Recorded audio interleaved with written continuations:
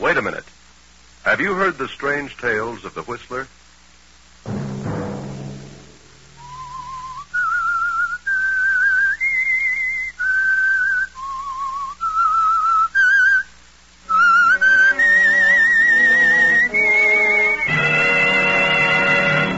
I'm the Whistler. You promised me that you wouldn't gamble again. You've broken that promise, and I won't give you another cent. This time, John, you can work it out for yourself. Another Sunday night, and again CBS presents The Whistler.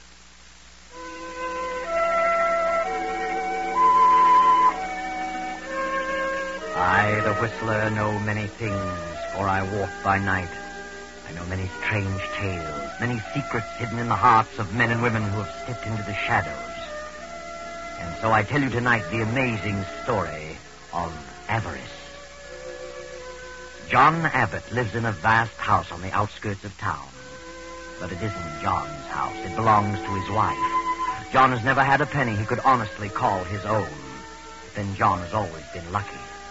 John Abbott is somewhat of a gambler who was fortunate enough to marry a wealthy young widow, Marcia Howard, wife of the late motor magnate Burton Howard. But John has pulled a few tricks bordering on the shady side of late, and Marcia has come to distrust him. She has paid off a number of his gambling debts, but this time he's really in a spot. John got into a poker game with Mike Flynn, lost, and paid off with a worthless check. Hello, Mike. How are you?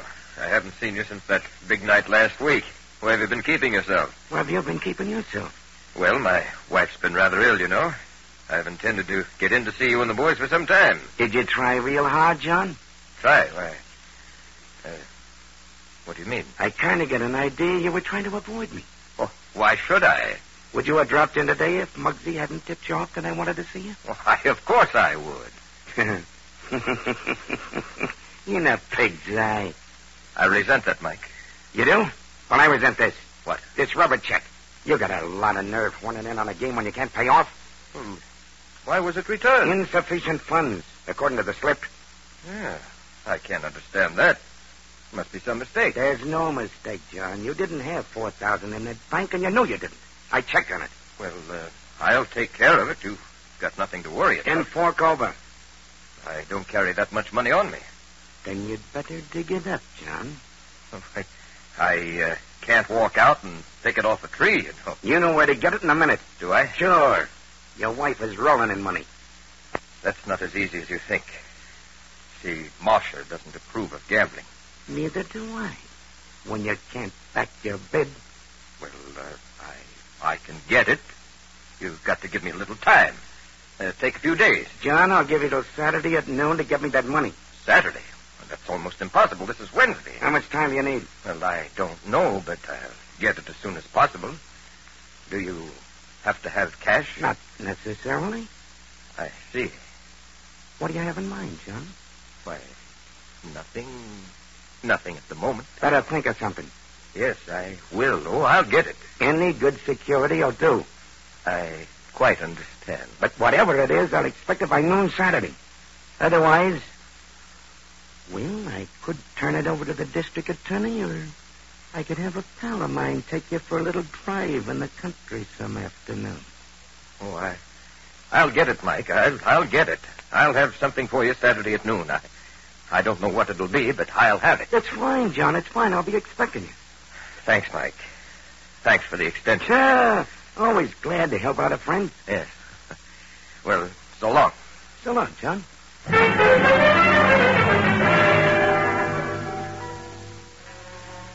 So John Abbott walks out of Mike's office and home in a deep fog, goes to his wife's room on the floor above, slips easily to the side of her bed.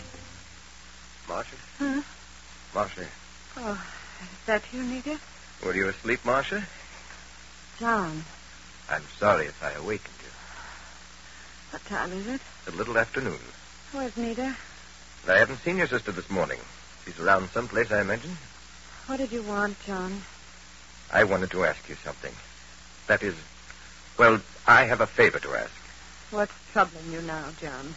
I hate to bother you when you don't feel well, but I need a little money. Money. What is it this time? Your brother again? No, no, it uh, doesn't concern Alan. That's a wonder. How much longer is he going to stay here? I don't know. Is he so obnoxious? I can't understand why a young fellow like Alan should be content to do nothing. Oh, he'll get into something soon, dear. I hope so. What do you need money for, John? A, uh, a note I had came due. What kind of a note? Just a note. I gave it some time ago. How much?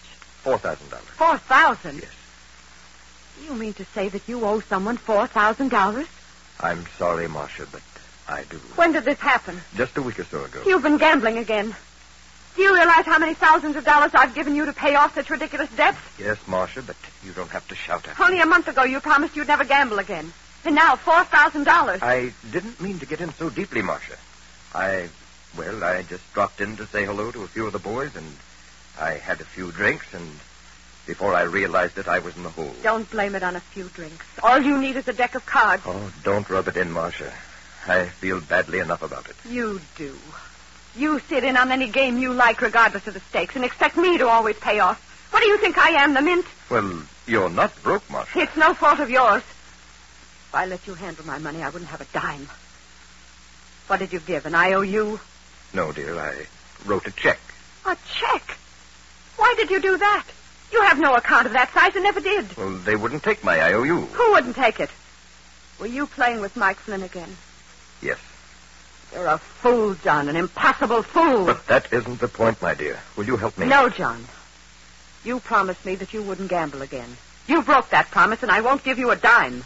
You can work it out for yourself. Where would I get four thousand dollars? Why don't you try working for a change? Well, I don't expect you to give it to me. I'll pay it back. You'll pay it back. Do you think I believe that? You act as though you were down to your last penny. What good does all that money do you anyway? What good will it ever do you? More good than it would ever do you. I might be able to get into some kind of business if I had enough capital. Business. You. Well, what's wrong with that? You talk as though I were a good-for-nothing loafer. You are. You and your brother. I'm sorry I didn't know that before I married you. And now your brother's hanging around here. And what for? Pretending to be in love with my sister. I don't like him, and you can tell him to leave. That's right. Get yourself excited over Have a good reason to be excited. You're not half as sick as you think. You have all the symptoms of a hypochondriac. Get out of here. Get out of this room. I'm going. I'm going. And tell your brother that I. Oh. Marcia. oh. Marcia. What's going on in here? What was Marcia yelling about? I don't know. She's fainted. She certainly can get worked up easily. You'd better call Dr. Manning. Very well. I'll call him from downstairs.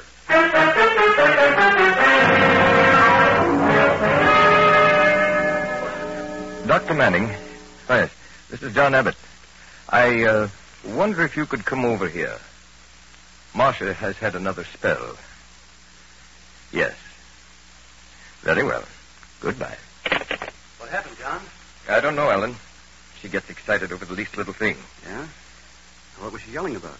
Oh, I went in to ask her about something and she blew up. What did you say to her? Why? Was it something about me? No, I needed a little money to cover a, a note. And I happened to ask her at the wrong moment. No. You mean the check, don't you? Check? What do you mean? That $4,000 check you gave Mike Flynn? What do you know about that? I heard about it. So? You think she'll let you have the money? I don't know, Alan. I rather think she will, eventually. What do you mean, eventually? You've got to have it by Saturday. Yes, that's, that's right. Sure a tough spot, John. I'd hate to be in your shoes. Why? Mike Flynn is a bad egg to fool around with. I know how to take care of Mike. I hope so. I'm going out for a few moments. I'll be back by the time Dr. Manning gets here. Okay.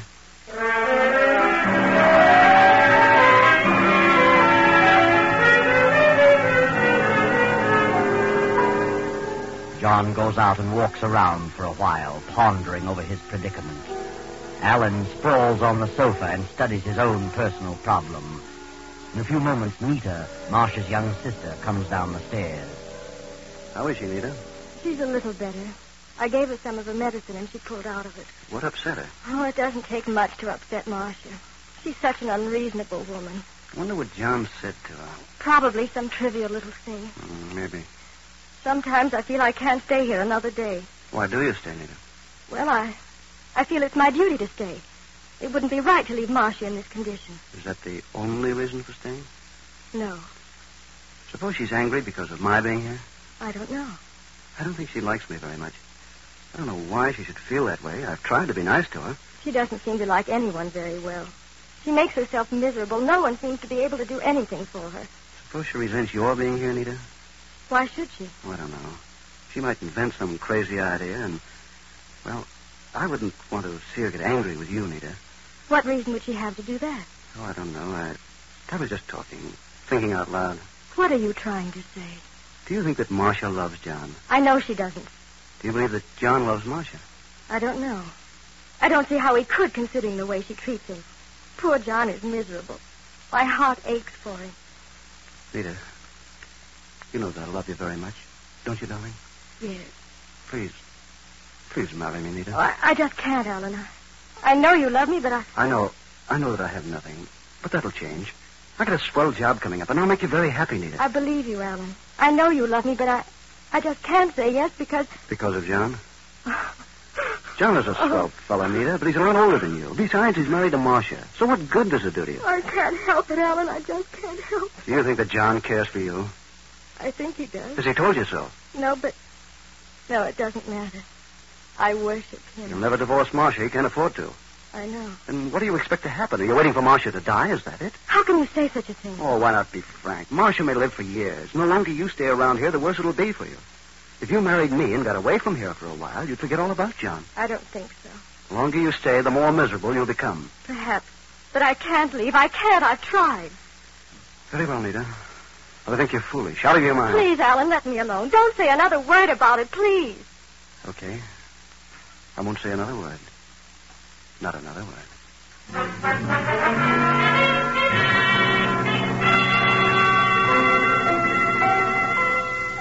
Dr. Manning visits Marcia. John returns to the house. And now the doctor has come downstairs and asks John, Alan, and Nita to join him in the library. I want to have a little talk with the three of you. Yes? About about Marcia? That's right. How is she, Doctor? She's much worse than when I saw her last. Worse?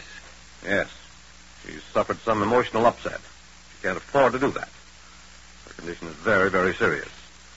I've warned you before about the result of the slightest argument.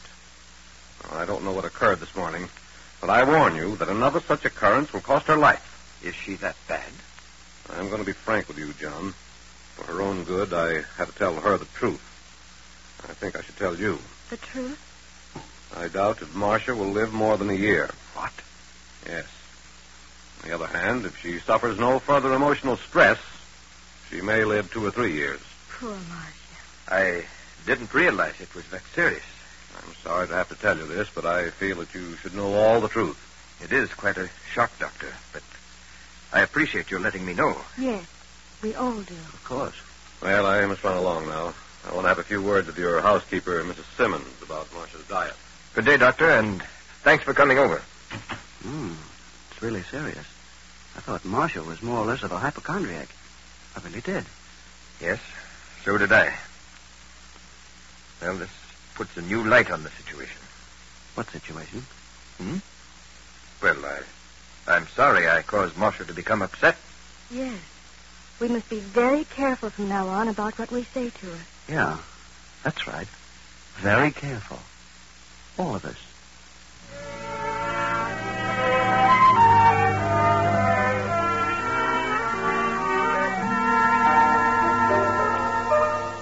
Early next morning, John goes into town to have a talk with Mike Flynn, the gambler. Mike isn't in his office, so John drops over to the drugstore to purchase a few articles. Well, uh, how are you, John? I haven't seen you for a week or so. Where you been keeping yourself? Well, I've been rather busy the past few days. Yes, what can I do for you? Well, I have a list of things here, quite a few items. I'll let you fix them up, and I'll call for them later. Very well. Uh, got some nice specials on today. No, no, just what you see there on the list. Oh, yes, yes, of course. Now, let me see. Yes, yeah. Yes, I have everything here. I'll be back. Oh, uh, hello, Mike. I was just up to your office. So I hear. Got some good news for me, John? Why, yes, that is. Well, I think things are going to be all right. That's so? I'm glad to hear it. For your sake. I I wanted to ask a little favor of you, Mike. Favor? Yes. Well, that all things and what it is. What you got in your mind, John? Well, I uh, suppose we go over to your office. Okay. Whatever you say. Uh, just wrap those things up, Mr. Smith. I'll call for them in half hour or so. Come on, Mike.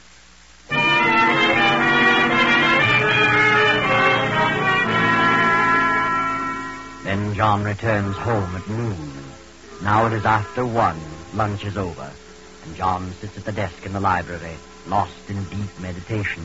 The library door opens and Nita slips quietly to John's side. John, Oh, yes, Nita. I didn't hear you come in. I opened the door very quietly. I thought you might be taking a nap. No, no, no. I was just thinking things over. I know how you must feel, John. I've developed a bit of a headache. I didn't sleep a wink last night. I'm so sorry for you, John. May, may I rub your head? It might help a little. No. Thanks, Nita. I'm all tied up in knots. Does that help? Oh, yes, yes. Helps a lot. Sweet of you, Nita. You're an awfully nice girl. Thanks, John. Yes, the man who gets you for a wife is certainly going to be lucky. Think so? I know so. Are you really in love, Nita? Yes, John. I'm sure I am. And I hope it lasts. But with a girl like you, sweet and kind and gentle, it's bound to last. Yes? You know, Alan is a very good boy, but he's got to be handled carefully. He's quite a bit like me. I know my shortcomings, and Alan has the same. We were both raised with a silver spoon in our mouths. Then we were suddenly thrown out into the world on our own, and we just couldn't take it. I had nothing to offer anyone, so I just followed the line of least resistance. Have you, John? Alan is just like me, but fortunately he's young enough to be changed. He can learn new tricks. The right girl could help. And you are the right girl. Think so? Yes. You're as different from your sister as night from day. But I don't love Alan. But you just said you did. No, John, I didn't. I did say I was in love, but not with Alan. But he's mad about you, Nita. I know he's nice, but I don't love him and, and never will. Well, then if you're in love, and it isn't Alan, then who is he? Don't you know? No. Oh, oh, John. John. Nita. Nita. Oh, John, forgive me, but I, I can't help it. What do you mean? Don't you know, John?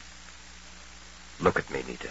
Yes, John, I know it's despicable, but I, I can't help it. I love you. Well, of all things. Nita. I've loved you from the day we first met. But Nita, darling, this what's ridiculous. You can't mean it. I do, I do. I've tried to fight it, but I can't. I'm married to your sister. Marcia doesn't love you, not the way I do, and you don't love Marcia. How do you know that? I can tell, I know. Oh, you're miserable, John. Am I? Yes. Marcia has treated you terribly. How you've gone on this long, I'll never understand. But I love you. I'll always love you. Don't you care for me at all? Yes, Nita. I'll have to confess. I do. Oh, John. John, darling. Oh, it won't work. In the first place, I'm married to Marcia. In the second place, I'm older than you. In the third place, Yes? I'm in a spot. A very ticklish spot. I can't afford to, well, break off with Marcia. What do you mean? I owe a certain man $4,000. I must pay him by this coming Saturday, or I might go to jail. What? Oh, he couldn't do that. Yes, he could. And he might even take me for a ride. Kill you? Yes, Oh, John. Did, did you tell Marcia? that was the cause of her relapse. She refused? Absolutely. Well, that only proves she doesn't love you. She's mean and hateful. Sometimes I think she's insane. Do you? Maybe she is. You mustn't give up hope, John. You'll get the money. How? There'll be a way, John. There must be a way. We'll make a way. Make a way. What do you mean? I'm not sure. But we'll find it.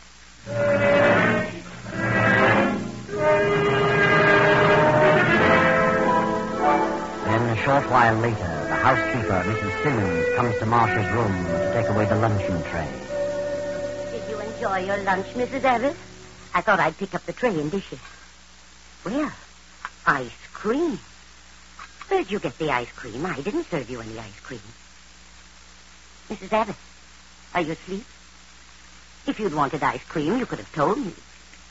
Mrs. Abbott. Mrs. Abbott. Mercy on me, she's cold. Mrs. Abbott! Mrs. Abbott! She's dead. She's dead. Give me the police, an ambulance, a doctor.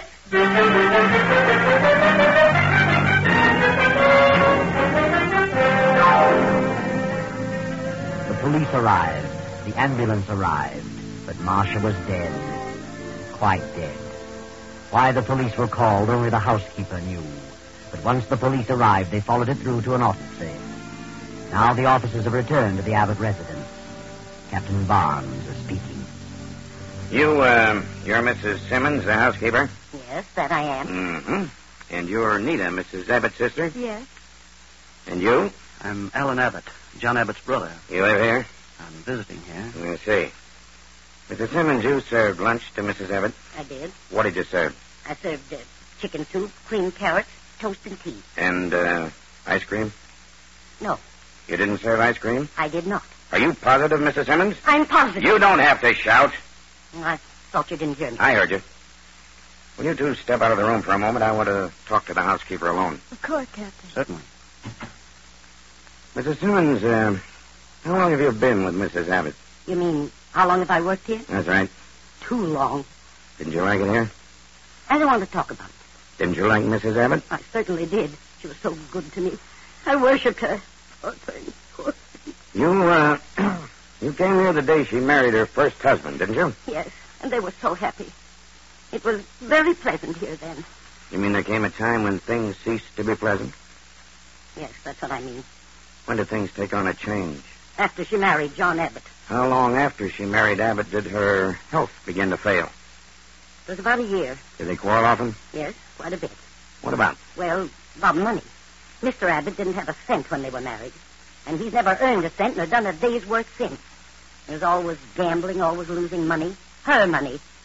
Then she got disgusted and clamped down on him. And shortly after that, she began to fail. Yes, and she changed completely.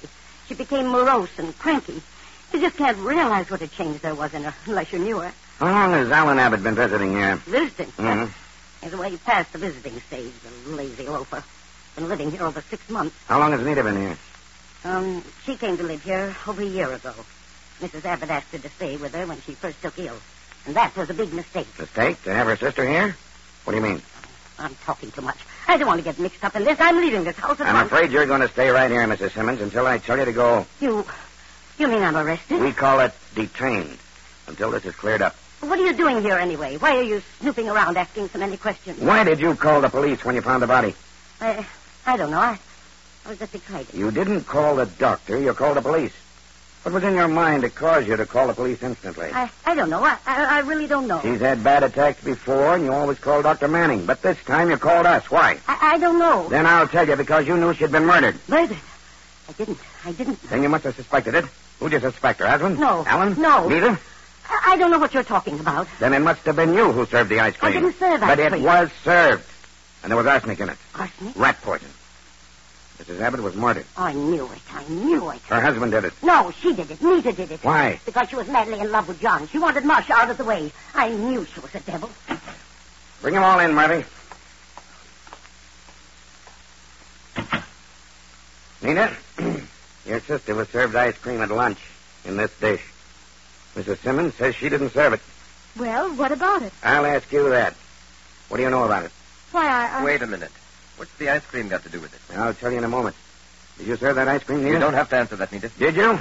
Yes.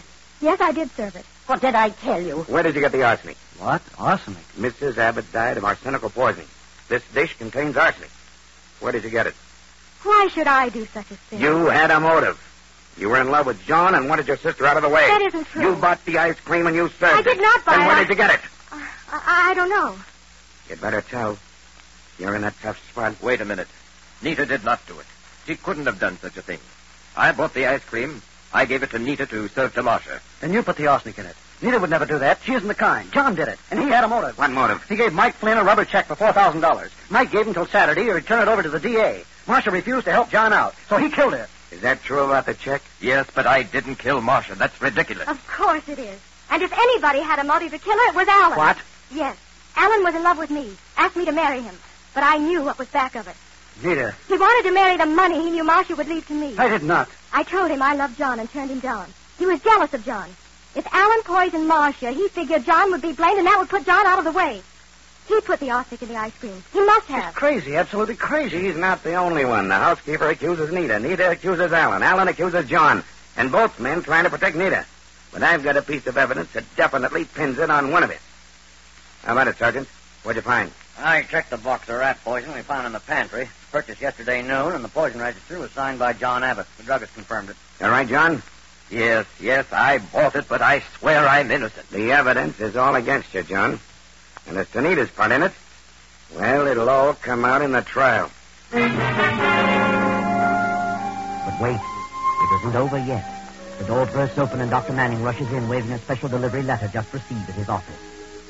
Read it, Doctor. Listen to this. John doesn't love me. He cares for nothing but my money. He's in a spot over a bad check, a spot in which he deserves to be. Alan is no good and pretends to be in love with Nita, but he really wants to marry her for the money he thinks I'll leave her. My sister is in love with my husband, which disgusts me. If I leave my property to her, John will marry her at the first opportunity. This house is filled with nothing but avarice and greed. I can bear it no longer. The thought of hanging on to life under these conditions for another year is intolerable. A few minutes ago, I slipped down the back way and found some rat poison. Removed a portion of it, slipped back to my room, and mixed it with the ice cream. Enclosed is a short will, witnessed by Mrs. Simmons. I leave all my property, personal and real, to the children's home at Montebello. This will end the disgusting situation created by my late husband's fortune. Signed, Marcia Howard Abbott. Well, there you are. None of them killed Marcia, but they certainly had the motive. Now, all of them are left to face the world penniless. And there's still a $4,000 check standing between John and Nita. Too bad.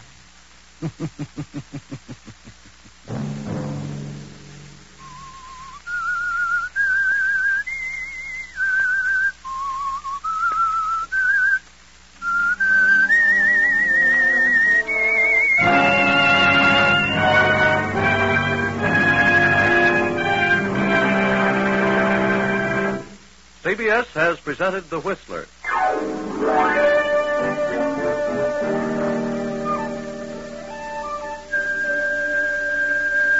Original music for this production was composed and conducted by Wilbur Hatch.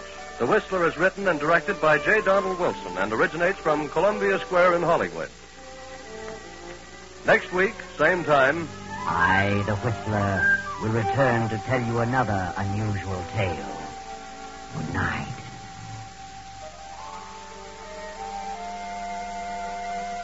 This is the Columbia Broadcasting System.